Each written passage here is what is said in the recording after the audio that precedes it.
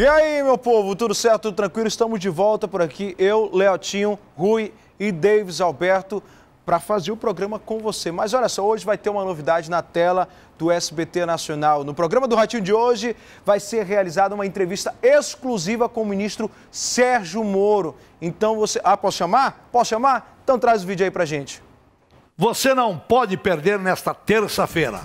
Eu vou entrevistar o ministro Sérgio Moro. E você vai gostar muito dessa entrevista.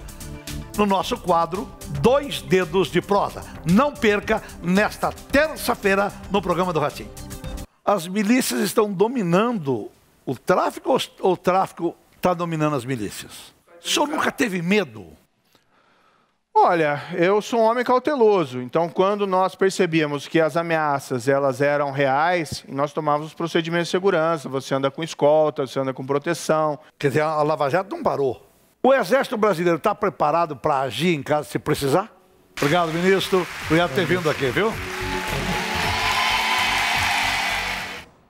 Então, olha só, que imperdível, né? Fica ligado no SBT Amazonas, porque com certeza vai ser uma entrevista que vai tirar muitas dúvidas do cidadão brasileiro amazonense e principalmente Manaus. Tá ok? Etnei Campinas Siqueira, de 32 anos, Tiago Teodósio da Silva, de 31 e Leandro Bezerra da Silva, de 24. Eles são suspeitos de roubar os pertences de carros que estavam estacionados em estabelecimentos comerciais. Sabe como? Usando o bloqueador de alarmes que é conhecido como Chapolin. Não é o Colorado, não, é o Chapolin dispositivo. E eles foram presos pela equipe da 23ª SICOM. Quem conta essa história é o Baby Toy da TV em Tempo, Juliano Couto, na tela do Namira. Você já ouviu falar do Chapolin? Pois é, mas não é o Chapolin colorado não. O Chapolin é aquele aparelhinho que os bandidos usam, onde você acha que trancou a porta do seu carro, no momento que você ativa o controle de longe, eles acionam esse aparelho e as portas do carro continuam destravadas. E aí a polícia prendeu um grupo aqui em Manaus que utilizava esse aparelho para roubar carros na cidade. Foram os policiais lá do 23º Distrito Integrado de Polícia, que fica no bairro Parque 10 de Novembro. A polícia prendeu aí Whitney Campina Siqueira, de de 32 anos, Tiago Teodósio da Silva, de 31 e Leandro Bezerra da Silva, de 24 anos. Eles estavam com esse aparelho conhecido como Chapolin. Esse aparelho também é conhecido como chupa-cabras. E olha só, além disso, a polícia prendeu, apreendeu aí dois veículos que eram utilizados para percorrer as ruas de Manaus para levar esses aparelhos aí onde os carros acabavam sendo roubados. Um carro modelo Celta e um Voyage Prata. Inclusive, esse Voyage estava com a placa com a numeração raspada. Ele estava estacionado bem em frente a um banco, ali na Rua do Comércio, no bairro Parque 10, onde os bandidos estavam ali por perto roubando os carros das proximidades. E aí teve uma perseguição policial porque eles perceberam a viatura da polícia e a viatura percorreu ali as ruas do bairro Parque 10 e eles foram presos ali no campo do Buracão. Os três foram levados ao 23º Distrito Integrado de Polícia e agora vão ficar à disposição da Justiça. Volto ao estúdio. É, meus amigos, não contavam com a astúcia da polícia, né, meu amigo? Agora acabou para vocês. Trazem a imagem dos três aqui para mim, e Gisele. Joga aqui, olha, vamos mostrar como eles são pequenininhos, né? São tudo pitiquitinho. Olha só o tamanho das crianças, olha só. Tudo playboyzinho. Olha aqui o cabelinho, né? Olha aí, esse daqui é meio corcunda, oh, parece que tá ordinário. um tatu. E o outro aqui, ó, posando. É, meu amigo, agora acabou para vocês, meus amigos. Acabou para vocês né? A Só casa pinta caiu de gente boa. Ti, mano. Porque a mente, né, e na prática, são três caras tentando dar uma desperta. E agora, vão pro presídio, né? Simples, fato. E foi apresentado na manhã de hoje o autor do homicídio que teve como vítima o próprio filho. A vítima tinha de 7 anos e foi encontrada morta na casa onde eles moravam no bairro. É essa situação que nós iniciamos o programa de hoje. Samara Maciel teve lá e traz a matéria pra gente.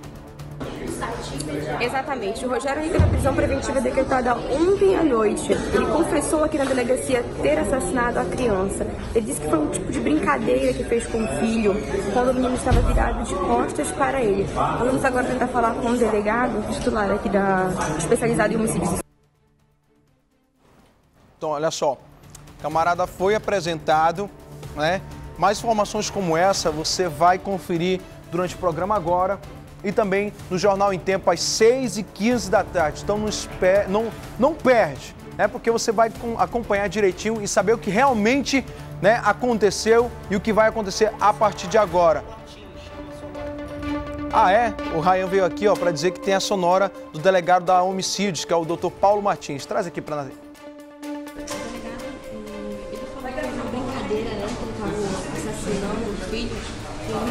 Ele chegar cá para matar